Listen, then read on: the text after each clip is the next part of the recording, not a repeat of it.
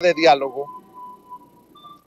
déjeme rescatar de ayer, porque ya ve que reaparece Ricky Riquín Profuguín cada lunes con sus videos pedorros y ayer reapareció con uno que confirma eso que he dicho, que está en competencia de ver quién hace la declaración más nefasta, quién le tira más estiércol al presidente Andrés Manuel López Obrador.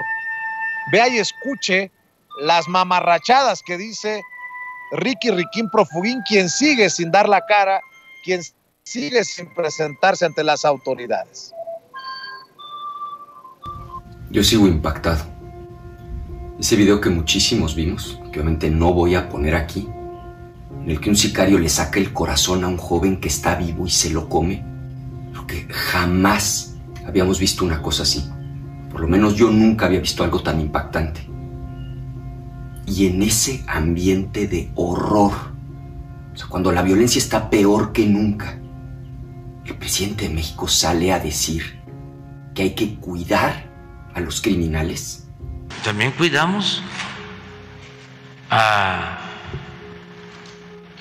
los integrantes de las bandas, son seres humanos.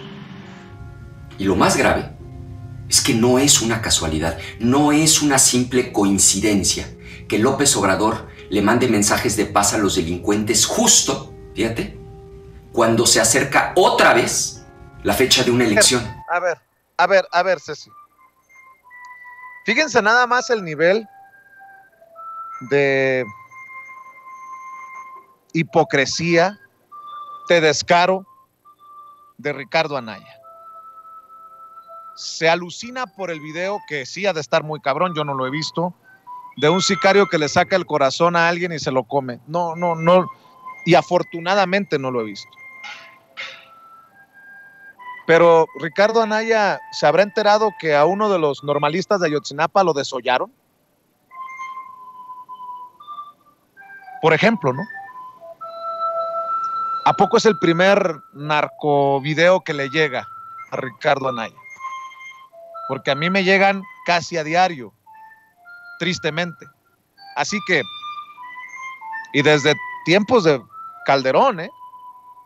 Para que luego no vaya a decir que ahora eh, ha llegado a niveles, eh, saludos, ha llegado a niveles eh, muy jodidos esto de la violencia. No, esto lo venimos arrastrando desde hace mucho tiempo, don Ricardo Anaya.